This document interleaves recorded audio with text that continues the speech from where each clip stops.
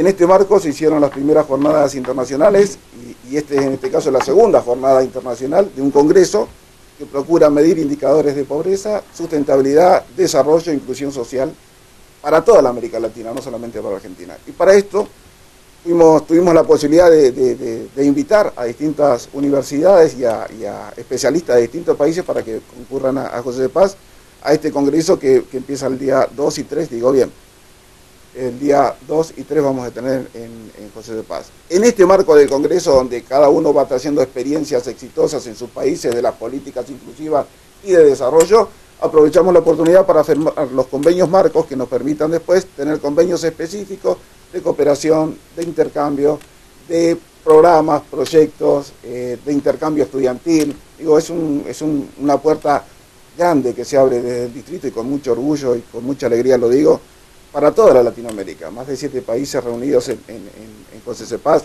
para llevar adelante las jornadas que se llegan, firmando los convenios que nos comprometen, porque esto es, la, es el compromiso de la América Latina con la América Latina misma, ¿no? América Latina y el Caribe para con Latinoamérica y el Caribe en sí mismo, teniendo una misma visión, una misma, una misma, eh, misma escala de valores y necesidades de inclusión para nuestros pueblos.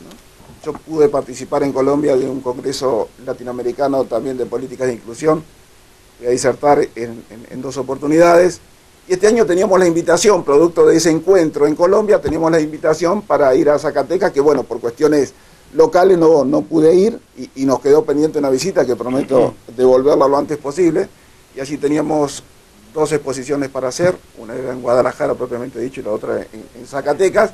Nos quedó interrumpido, levanté el guante invité como correspondía a los amigos a participar de este encuentro en, Argentina.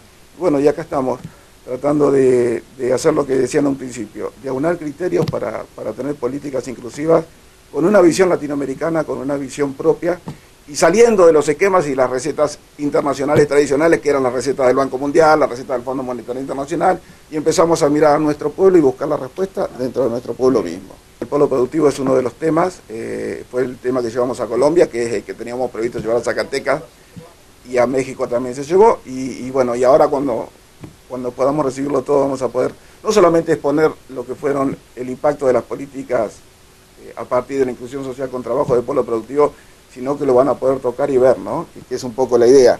Eh, eh, cuando lo académico baja al territorio y, toca la praxis de, la experiencia, ¿no? Cuando, cuando los hombres y mujeres que trabajan ahí dan muestra de que es cierto que la política va en ese sentido.